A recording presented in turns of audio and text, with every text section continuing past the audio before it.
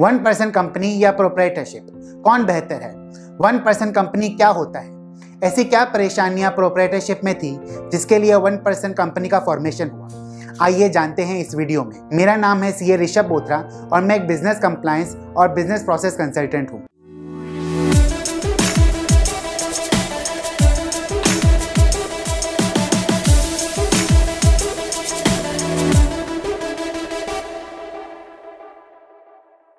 दोस्तों, हम अगर कोई बिज़नेस स्टार्ट करना चाहते हैं तो हमें कोई बिज़नेस एंटिटी बनानी होती है।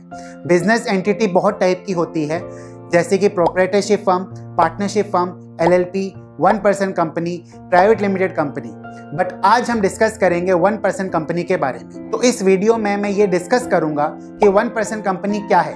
वन पर्सन कंपनी के क्या फीचर्स हैं। क्या एडवांटेजेस है वन पर्सन कंपनी के? क्या कंसर्न्स है वन पर्सन कंपनी के? किस तरीके के लोगों को वन पर्सन कंपनी बनानी चाहिए? और what are the documents required to form a one person company पहले अगर किसी अकेले इंसान को बिज़नेस स्टार्ट करना होता तो उसके पास सिर्फ़ एक ही ऑप्शन था, जो कि प्रोपराइटरशिप फर्म पर प्रोपराइटरशिप फर्म के खुद के बहुत डिसएडवांटेजेस थे। फ़ायदा उसका यह था कि प्रोपराइटरशिप फर्म को रजिस्टर करवाने की ज़रूरत नहीं थी। कंप्लाइंसेस ज़्यादा नहीं करने पड़ते थे। पर उसके नुकसान बहुत थे, जैसे कि अनलिमिटेड लाइबिलिटी जिसका मतलब कि जितनी भी आपकी बिज़नेस में लाइबिलिटी होती है, वो प्रोपरेटर की, खुद की पर्सनल लाइबिलिटी बन जाती है।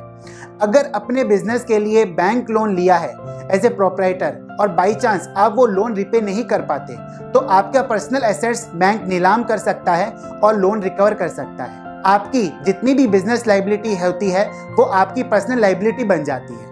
इसीलिए वन परसेंट कंपनी का फॉर्मेशन हुआ, जहाँ पर प्राइवेट लिमिटेड कंपनी के फ़ायदे भी प्रोपराइटरशिप फर्म को मिलने लगे। अब डिस्कस करते हैं वन परसेंट कंपनी के क्या एडवांटेजेस हैं। सबसे पहला एडवांटेज है लिमिटेड लाइबिलिटी लिमिटेड लाइबिलिटी का मतलब है इन केस ऑफ़ लॉस कोई भी आपके पर्सनल एसेट्स के ऊपर लीगल राइट एस्टेब्लिश नहीं कर सकता, आपकी लाइबिलिटी सिर्फ़ आपके बिज़नेस में इन्वेस्टेड कैपिटल जितनी ही रहेगी। वन परसेंट कंपनी में लाइबिलिटी लिमिटेड है in case of company share holders की भी लाइबिलिटी लिमिटेड है, पर in case of proprietorship firm proprietor की लाइबिलिटी अनलिमिटेड है। दूसरा एडवांटेज है परपेचुअल सक्सेशन परपेचुअल सक्सेशन का मतलब है, अगर मेंबर की डेथ हो जाए तो क्या फर्म चलती रहेगी या फिर डिजॉल्व हो जाएगी?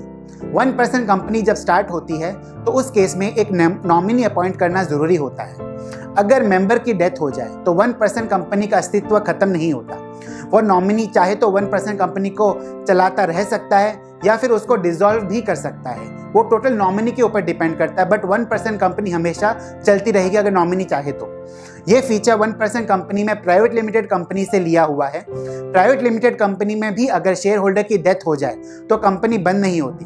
वो शेयर्स उसके नॉमिनी या लीगल हेयर के पास चले जाते हैं। प्रोपराइटरशिप में अगर प्रोपराइटर की डेथ हो जाए तो प्रोपराइटरशिप डिजोल्व हो जाती है और परपेचुअल सक्सेशन नहीं हो पाता। तीसरा एडवांटेज है सेपरेट लीगल एंटिटी इसका मतलब है वन पर्सन कंपनी कानून के नज़रिए से पूरी तरीके के एक सेपरेट लीगल एंटिटी है। इस टाइप की एंटिटीज का एक सेपरेट पैन कार्ड होता है। इस तरीके के बिज़नेस खुद अपने नाम से किसी के ऊपर लीगल केस कर सकते हैं और कोई भी दूसरा इस तरीके के बिज़नेस के ऊपर लीगल केस कर सकता है। इस तरीके के बिज़नेस में ओनर्स और बिज़नेस दोनों अलग अलग होते हैं। प्राइवेट लिमिटेड कंपनी भी एक सेपरेट लीगल एंटिटी है। पर same is not true in case of sole proprietorship no separate PAN card is issued for a sole proprietorship firm proprietor और proprietorship firm are same In case of legal proceedings, proprietor or proprietorship firm will not be treated as a separate legal entity and proprietor will be responsible for all the legal consequences. चौथा advantage है less compliance proprietorship में सबसे कम business compliance है income tax return और GST return के अलावा major और कोई भी कंप्लाइंस नहीं है वन परसेंट कंपनी में कंप्लाइंस कॉस्ट और कंप्लाइंस रिक्वायरमेंट सेम है सोल प्रोपराइटरशिप फर्म की तरह but with some additional compliance like filing of return with ROC one percent company में ऑडिट करवाना भी मैंडेटरी है। प्राइवेट लिमिटेड कंपनी की बिज़नेस कंप्लायंस और कॉस्ट सबसे ज़्यादा है, क्योंकि इसमें GST return income tax return mandatory audit के अलावा आरओसी में बहुत सारे कंप्लाइंसेस करने पड़ते हैं, जैसे कि एजीएम कंडक्ट करना बोर्ड मीटिंग्स कंडक्ट करना, ऐसी बहुत सारी रिक्वायरमेंट्स हैं। now let us discuss what are the concerns या limitation of one person company पहला लिमिटेशन है minimum one lakh authorise share capital is required One percent company में मिनिमम एक लाख का शेयर कैपिटल होना ज़रूरी है। सिमिलरली प्राइवेट लिमिटेड कंपनी में भी एक लाख का शेयर कैपिटल रिक्वायर्ड है।